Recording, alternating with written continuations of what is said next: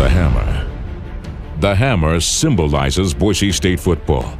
It represents a blue-collar attitude and a tradition of hard work and sacrifice that has been built by players past and present.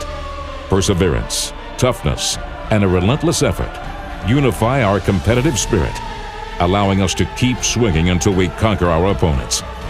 Every week, the hammer is given to the special teams player who gets the best hit or tackle of the game, leading his teammates onto the field. The player with the hammer signifies the solidarity of our team. This unit allows us to play for a cause bigger than ourselves. Never relenting, the hammer symbolizes the power of a collective force, the foundation of Boise State football.